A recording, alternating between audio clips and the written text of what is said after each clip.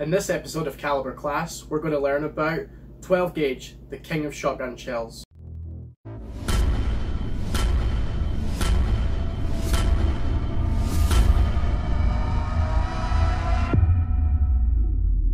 Hello there, my name is Zander, and if you're new here, welcome to the channel, and if you're returning, it's very good to see you again. This is where we discuss firearm related content applicable to Canadians. Any information we talk about today you can find in the description below. Some of the earliest history pertaining to shotgun shells was around the 1860s in Germany. Most early shotgun shells had a brass or a paper case. Many early iterations were mostly used for bird hunting.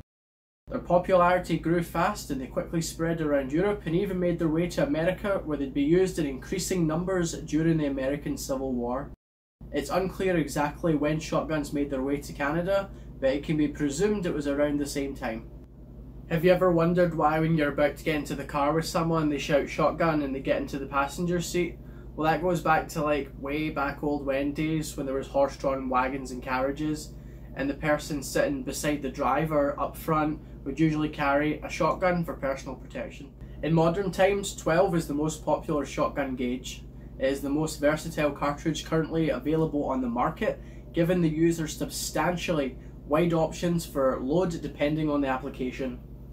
Typical 12 gauge loads are divided into three categories birdshot, buckshot, and slugs. 12 gauge is typically 2 and 3 quarter inches long, or 3 and a 3.5 inch variants are also common on the market.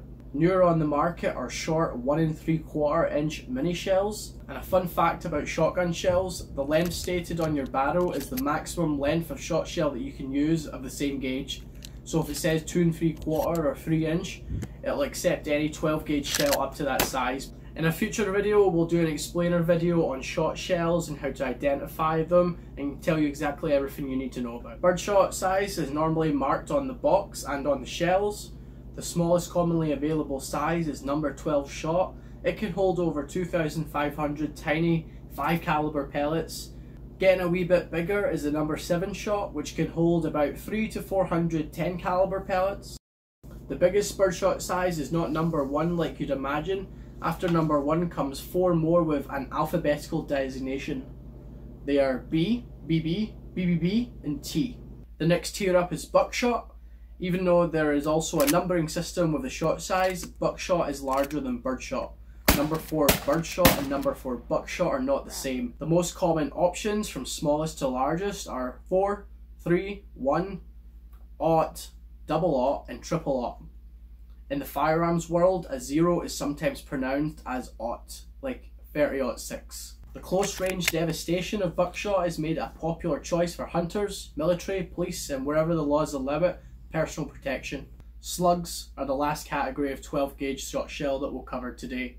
Unlike bird and buckshot, it's got all their pellets sized by caliber or millimeter. Slugs are listed by weight and grains, just like a pistol or rifle round. They're a solid projectile with a little bit of rifling on the outside to help with stabilization.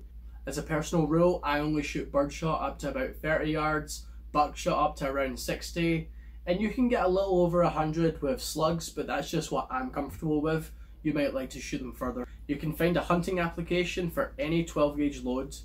Birdshot loads, while vasting in size and options, they're usually used for bird and small game hunting, such as geese, ducks, pheasants and turkeys. Many would argue that 12 gauge is too powerful and the smaller 20 gauge would be a better option. Buckshot loads are used commonly for deer, hog, coyote and a lot more. Slugs are typically reserved for dangerous predators like grizzly bears, mountain lions, but they're also used for deer, elk and moose. If you want to take part in sports and competitions as a shotgun shooter, you're in luck because there are quite a few available to you. Most people will be familiar with clay pigeon, trap or skeet style shooting. Many range have events for this. Three gun competitions, also you can make use of your shotgun. Generally for all these types of sports it's usually a bird shot that is used.